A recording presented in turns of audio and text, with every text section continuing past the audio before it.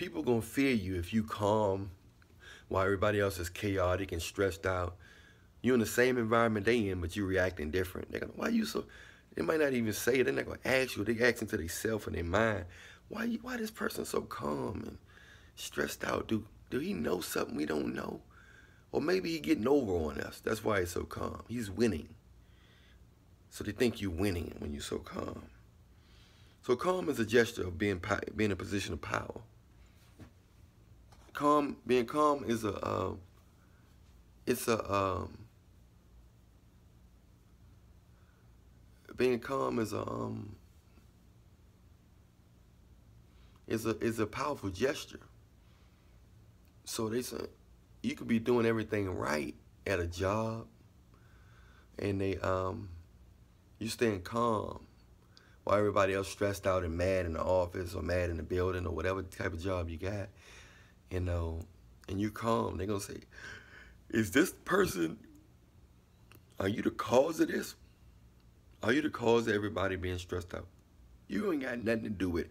You might be this small in the building, but the fact that you so calm, I mean, you so calm, it puts you in a position of power. Like you getting over, or maybe you you you're too thankful, or whatever it's a Jesus-like trait. It's too much of a powerful, it's a too much of a divine trait, being calm. They like when you sweating and mad and complaining.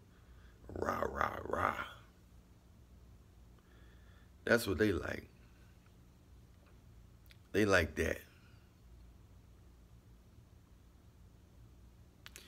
That's what they like. You see what I'm saying? So, you got to understand that. A lot of these people, when you calm like that at your job and everybody else stressed out, they want to see you stressed. So they go, even if you're doing a good job, they're looking for faults. They're looking for failure. They're looking for a reason to complain about you, a reason to gossip about you.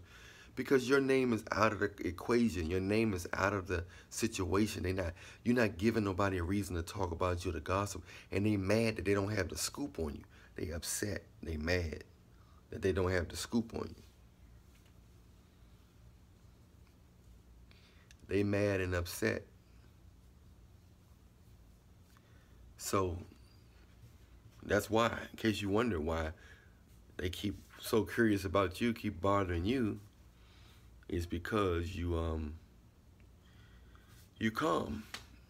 And they jealous of your personality, jealous of that calm trait, that faithful, God-like, that saint trait. Even though you're not perfect, and God never used perfect people in the Bible, but the fact that it's just so holy, and they think that you think you're better than everybody else because you're calm. And you could be you can be the most humblest, down-to-earth person in the world, but that calm trait amongst chaos is, why are you so calm? You ever saw Golden Child when Eddie Murphy asked a little boy, everything gonna be all right, huh? I know. I know. So you become the golden child. I know. That's faith. That's why you got to stay prayed up so you can have that God-like faith. That's why. You know what I'm saying? And that's why you gotta um you gotta be close you gotta stay close to God and stay prayed up. Because Jesus uh, is real, man. Jesus is real and stay connected to him.